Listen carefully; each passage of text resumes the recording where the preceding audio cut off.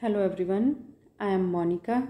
In this video, I will explain the poem Nutting, written by William Wordsworth. William Wordsworth was a nature poet and poet laureate.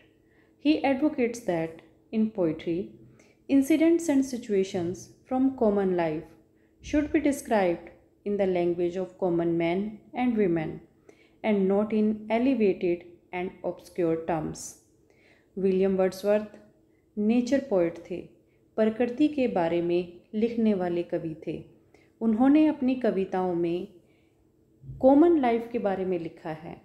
आम जीवन में होने वाली घटनाओं और परिस्थितियों के बारे में उन्होंने अपनी कविताओं में लिखा है। पोइट्री के बारे में विलियम वर्ड्सवर्थ ने कहा है poetry is the spontaneous overflow of powerful emotions recollected in tranquillity. Spontaneous means धारा प्रवाह, बिना किसी बाधा के बहना। पावरफुल इमोशंस, स्ट्रॉन्ग इमोशंस, भावनाएँ। रिकलेक्टेड मीन्स इकट्ठा करना। ट्रैंक्विलिटी मीन्स एकांत में।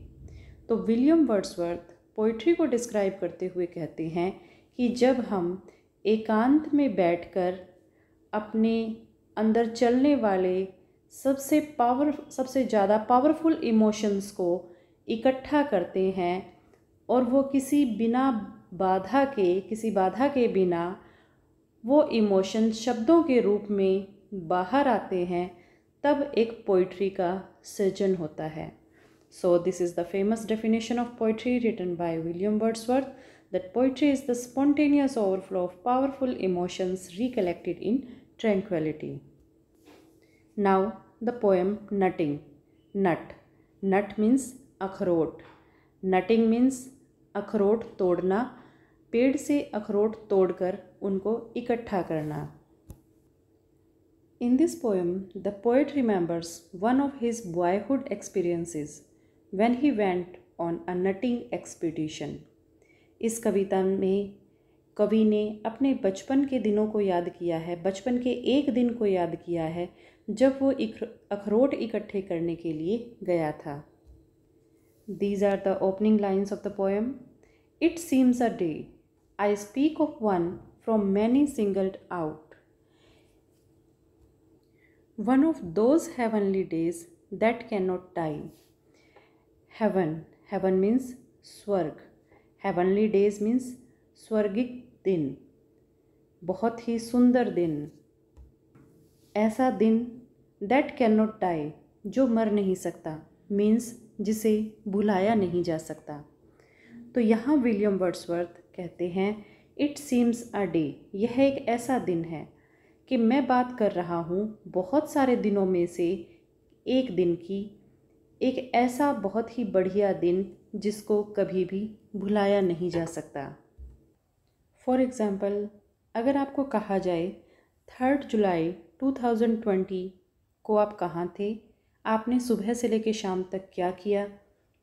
तो आप बहुत सोचोगे तो भी शायद आपको हार्डली याद आए उस दिन के बारे में।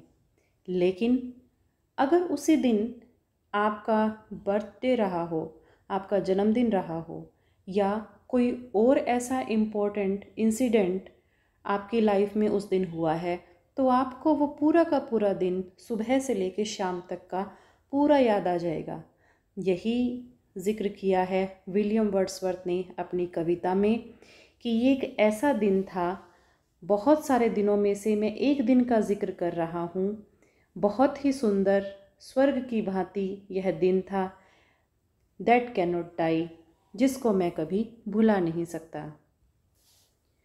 When, in the eagerness of boyish hope, I left our cottage threshold, sallying forth with a huge wallet, a nutting crook in hands, and turned my steps.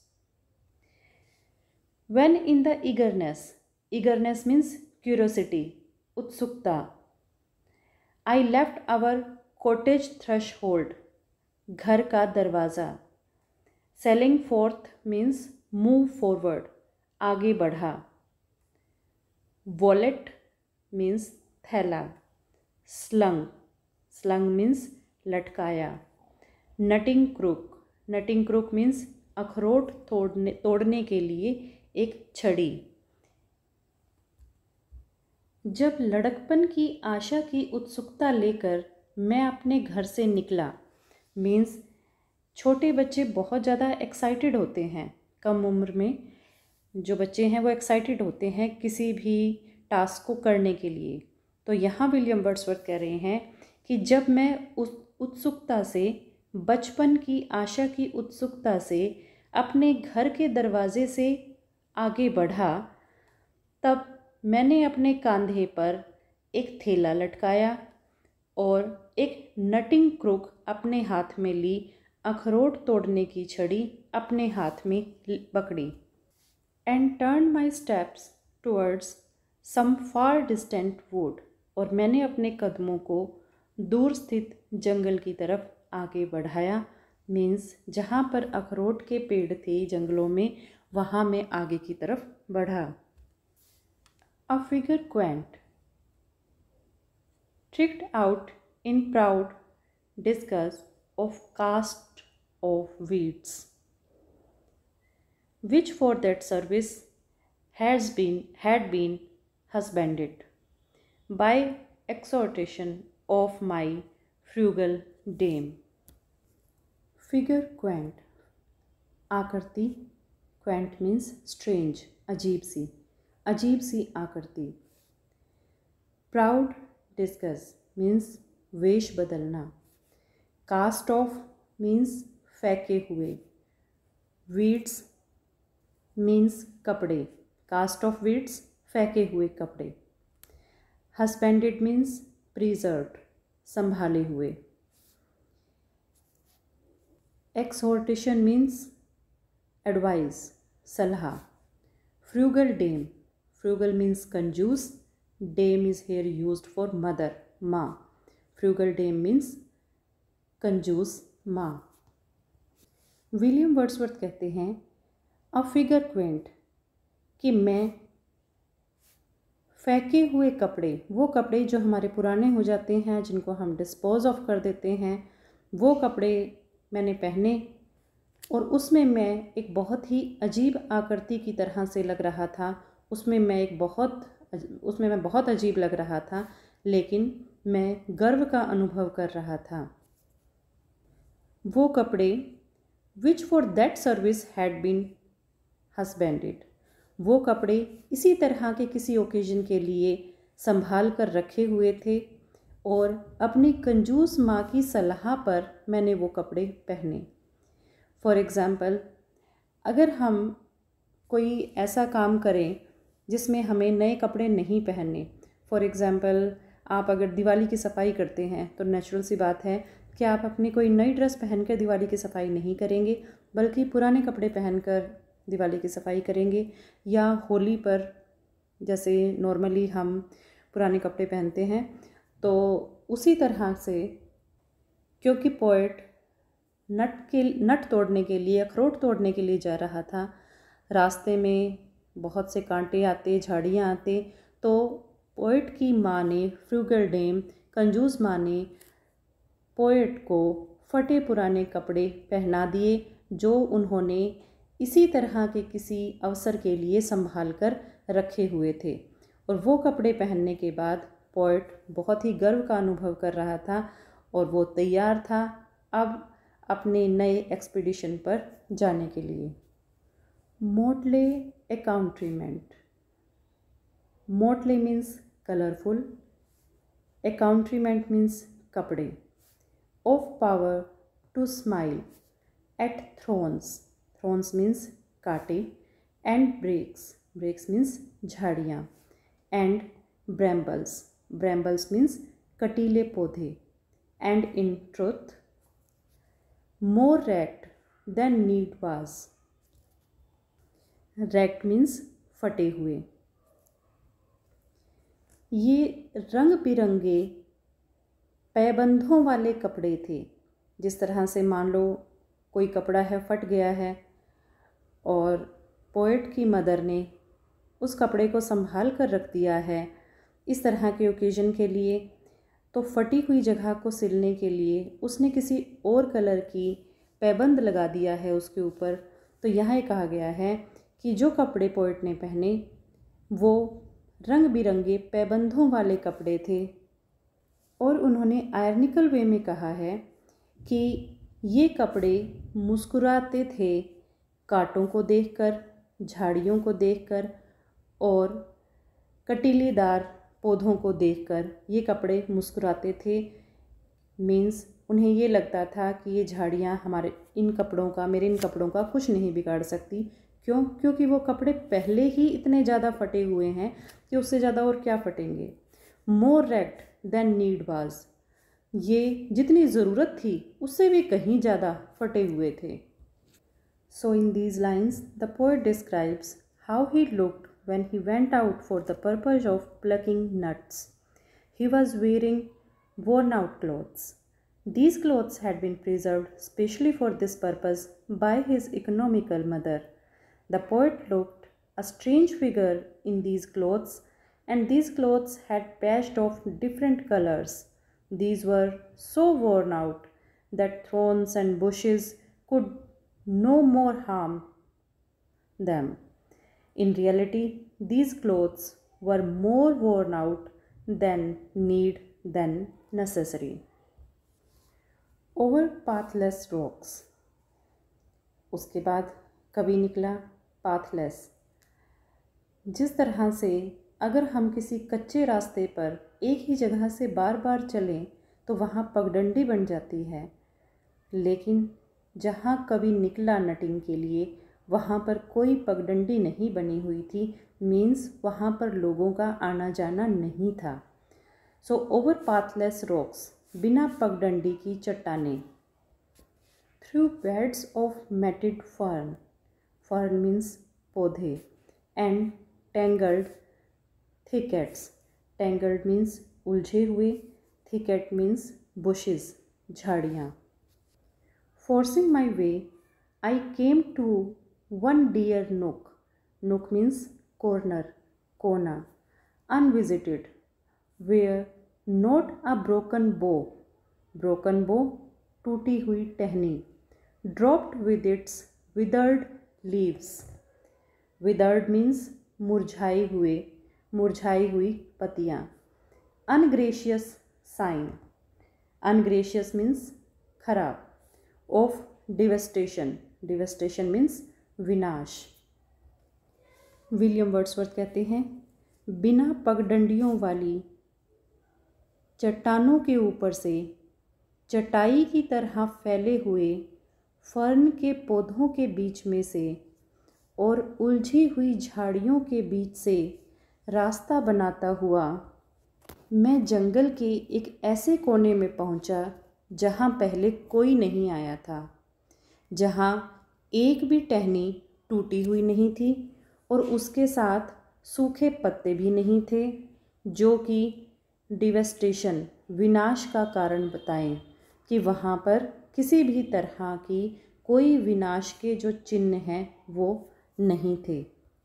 वहाँ का जो नज़ारा था जो दृश्य था वो बहुत ही बढ़िया था so the poet describes his way through pathless rocks and tangled bushes then he reached a corner of the forest the scene here was very beautiful It appeared as if no one had come here before. The poet could not find even a single broken branch, which is a sign of devastation or a sign of destruction. He found that the hazel trees were standing tall and erect. The bunches of nuts were hanging with these branches. But the hazels, hazels means akhrot, rose tall and erect tall and erect लंबे और सीधे with tempting tempting means attracting लुभाते हुए Clusters hung clusters means गुच्छे, गुच्छों के रूप में लटकते हुए। उसने देखा कि अखरोट के जो पेड़ हैं, वो लंबे और सीधे खड़े हुए हैं। उनकी टहनियों के साथ अखरोटों के गुच्छे लगे हुए हैं। A virgin scene. वर्जिन शुद्ध। A virgin scene. एक बहुत ही सुंदर, बहुत ही शुद्ध दृश्य है। a little while I stood breathing with such expression of the heart as joy delights in and with wise restraint voluptuousness fearless of a rival eyed the banquet breathing सांस लेते हुए डिलाइट खुशी वलक्चुअसनेस ग्रीडी लालच होना fearless of a rival rival means प्रतिद्वंदी. Fearless बिना किसी भय के. Eyed the banquet banquet means भोजन. आइड देखना, भोजन को देखना. तो पोएट अपने आसपास अखरोटों के गुच्छे देखकर बहुत खुश हो गया और वो इतना खुश हो गया कि उसने अपनी सांस को रोक लिया कि कहीं ये उसकी खुशी को नष्ट ना कर दे। अपने अखरोट इकट्ठे करने का जो उसका अभियान था, उसमें उसे अपने किसी प्रतिद्वंदी का भी डर नहीं था, क्योंकि वो एक ऐसी जगह पर आया था जहाँ पर कोई नहीं आता। तो ऐसा नहीं था कि कोई और पर्सन आएगा और उससे पहले वो अखरोट को तोड़ लेगा तो उसे अपने किसी राइवल का भी डर नहीं था। आइड द बैंकवेट इसलिए वह जो अखरोटों के जो पेड़ थे, उनको बहुत देर तक देखता रहा। यहाँ पर जो अखरोट उसने पा लिए थे उस जगह पर। उससे जो कवि को खुशी मिली थी, उस खुशी को डिस्क्राइब किया गया है। कवि यहाँ कहता है कि मेरी भावनाओं को केवल वही व्यक्ति समझ सकता है जिसने किसी वस्तु को पाने के लिए बहुत लंबे टाइम से इच्छा की हो, कामना की हो, और तब उसे वह जिस भी चीज़ को पाने के लिए उसने इच्छा की थी, वो चीज़ उसको आसानी से तो नहीं लेकिन अचानक से और आशा से बढ़कर मिल जाए तो उस वक्त जो उसकी कंडीशन होगी कि ठीक उसी तरह की कंडीशन आज मेरी है। He was overjoyed to see the bunches of nuts around him he was so happy that he controlled his breathing lest it should disturb his joy he had no fear of any rival so he kept looking at the hazel trees for a long time. Thus, these lines describe the poet's joy on finding a plenty of nuts in the forest. Or beneath the trees, beneath niche, beneath the trees, I sat among the flowers, and with the flowers I played. A temper known to those who, after long and weary expectations, weary means chinta, expectations means umide, have been blessed with sudden happiness अचानक से मिली खुशी। Beyond all hopes सभी आशाओं से परे। कवि पेड़ के नीचे बैठ गया, फूलों से वो खेलने लगा और वो ये कहता है कि लंबे समय तक अगर किसी चीज़ की इच्छा की गई हो, उम्मीद की गई हो और अचानक से वो खुशी हमें मिल जाए, जो हमारी आशाओं से भी परे हो तो उस वक्त जो सिचुएशन किसी व्यक्ति की होती है वही सिचुएशन आज में, आज मेरी है। मैंने अखरोट तोड़ने की कामना की थी और वो मुझे क्लस्टर्स में मिल गए, गुच्छों में मिल गए। कोई आसपास राइवल भी नहीं है, प्रतिद्वंदी भी नहीं है कि कोई और आके तोड़ के वहाँ ले जाएगा। तो मेरी खुशी का कोई ठिकाना नहीं है और उस खुशी को नापा नहीं जा सकता। So these lines describe the poet's excessive joy on finding a number of hazel trees in a corner of the forest. He sat down under the trees and played with the flowers. And the poet says that only those persons can understand his feeling of joy who have had such an experience in his or her life. A person who waits for something for a long time and then gets it suddenly has the same feeling. Perhaps it was a bower. Bower means cluster of trees. पेड़ों का झुंड। Beneath whose leaves the violets of five seasons reappear violets is the name of a flower and fade unseen by any human eye एक पेड़ों का झुंड था, जिसके नीचे जो पोइट है वो बैठा था और वो डिस्क्राइब करते हैं कि फूलों के वायलेट जो फूल हैं वो खिलते हैं और मुरझा जाते हैं। सभी सीजन्स में वो फिर से आते हैं फेड मुरझा जाते हैं unseen by any human eye और कोई भी मनुष्य उन फूलों को नहीं देखता। क्यों नहीं देखता? क्योंकि वो जंगल में दूर खिले हुए हैं, वहाँ लोगों का आना जाना नहीं है। तो इसलिए unseen by any human eyes इसीलिए कोई भी व्यक्ति उन फूलों को नहीं देखता। where fairy water breaks do murmur on forever, and I saw the sparkling foam, and with my cheek on one of those green stones that fleeced with moss under the shady trees lay round me scattered like a flock of sheep. I heard the murmur and the murmuring sound. Murmur means making noise कल कल की आवाज़। Sparkling form चमकते हुए झाग। जब पानी को ऊपर से नीचे डालते हैं तो उसमें से जो झाग पैदा होते हैं और सूरज की रोशनी अगर उन पर पड़े तो वो चमकने लगते हैं। तो स्पार्कलिंग फॉर्म मीन्स चमकते हुए झाग। Fleeced fleeced means covered with moss. Moss means काई। फ्लीस्ड विद मोस मीन्स काई से ढके हुए। स्कैटर्ड, बिखरे हुए, फ्लॉक ऑफ़ शिप, भेड़ों का झुंड। मरमर इज़ अगेन कल कल की आवाज़। तो यहाँ पोइट ने झरनों की कल कल की आवाज़ सुनी। झरनों से जो पानी ऊपर से नीचे गिर रहा है और वो जो कल कल की साउंड पैदा कर रहा है, उस आवाज़ को पोइट ने सुना। उसने पानी की सतह पर चमकते हुए झाग देखे। ज़्यादा ऊंचाई से पानी गिरने की वजह से नीचे झाग बन जाते हैं। तो उन झागों को पोइट ने देखा। उसने आसपास बहुत से पत्थर बिखरे हुए देखे, क्योंकि वहाँ नीचे बहुत से पत्थर बिखरे हुए थे। वह काई से ढके हुए थे। कवि कहते हैं, मेरे आसपास काई से ढके हुए पत्थर इस तरह से बिखरे हुए थे जैसे कि भेड़ों का झुंड होता है। ऐसे एक पत्थर पर कवि ने अपने गाल को टिका दिया और प्रकृति का आनंद लिया So the poet heard the murmuring sound of streams. He saw the shining foam on the surface of water. A number of stones were scattered round him, and these were covered with moss. He rested his cheek on one of them and enjoyed nature.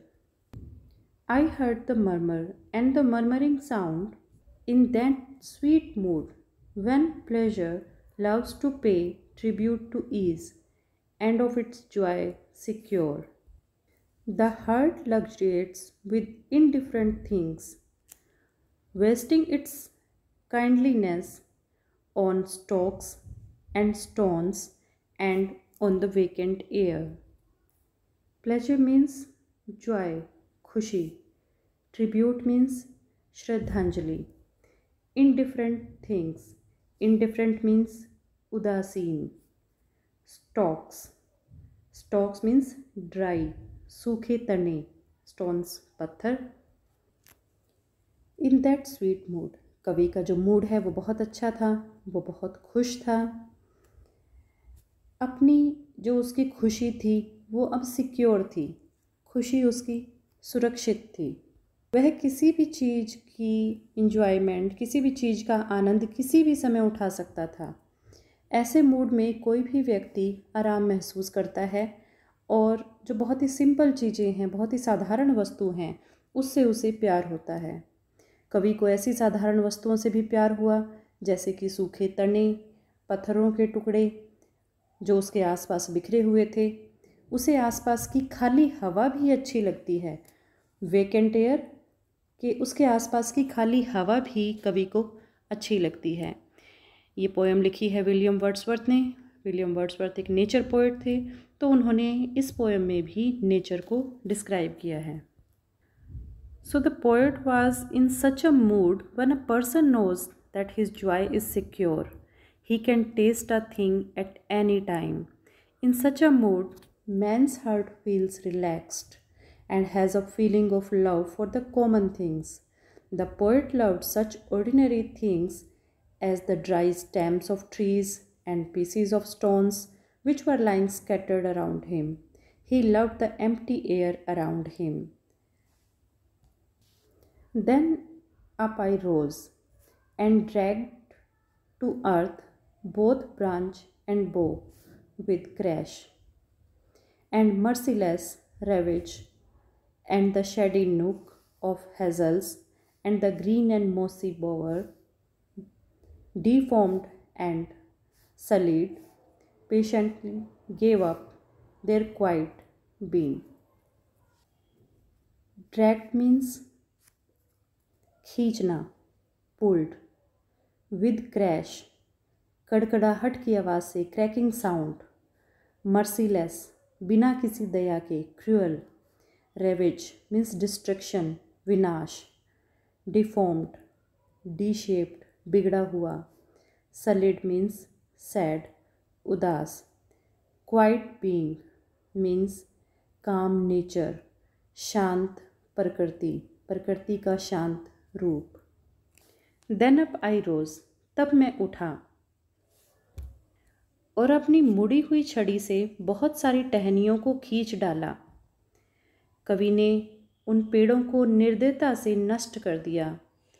जल्दी ही उस कोने में विनाश के दृश्य नज़र आने लगे। अखरोटों के जो पेड़ थे, वो अपनी सुंदरता खो चुके थे। कुछ मिनट पहले जंगल का ये कोना बहुत ही सुंदर था, छायादार था, मगर अब वो बहुत ही टूटा फूटा लग रहा था। ये नेचुरल सी बात है कि कवि ने अखरोट तोड़ने के लिए अपनी डंडी का यूज़ किया, अपने हुक का यूज़ किया। उसने पेड़ पे कई बार वो डंडी मारी, तभी अखरोट टूट के नीचे गिरे।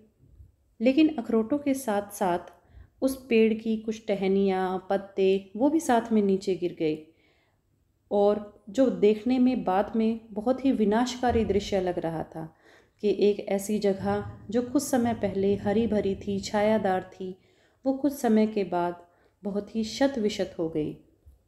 The poet destroyed the trees mercilessly very soon that corner showed the scene of destruction the hazel trees became deformed a few minutes ago that the corner of the forest was shady and beautiful but now it looked ravaged so these lines reveal the poet's regret at destroying the trees And unless I now confound my present feelings with the past, ir, ir means before, pehle, from the mutilated bower. Mutilated means broken, टूटा हुआ बोवर पेड़ों का झुंड I turn exulting means खुशी के साथ खुश होते हुए rich beyond the wealth of kings I felt A sense of pain when I beheld beheld means देखना। The silent trees and saw the intruding sky intruding means peeping झाँकता हुआ। पहले तो वह बहुत खुश हुआ क्योंकि उसने बहुत सारे अखरोट इकट्ठे कर लिए थे।